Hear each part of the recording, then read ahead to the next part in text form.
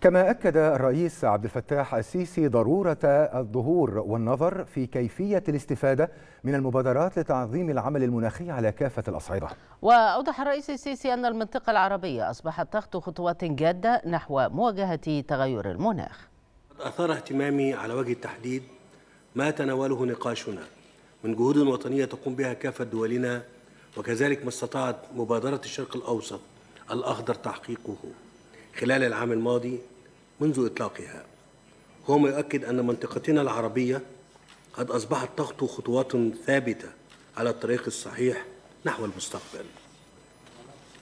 وإنني أتطلع إلى استمرار العمل المشترك بين دولنا خاصة في المشروعات ذات الأبعاد الاقتصادية والاجتماعية وعلى وجه التحديد ما يتعلق بتنفيذ مشروعات الإنذار المبكر وإدارة الثروة السمكية ونقل التكنولوجيا الجديدة في مجالات الاستخدامات المستدامة للموارد المائية والتنمية الزراعية.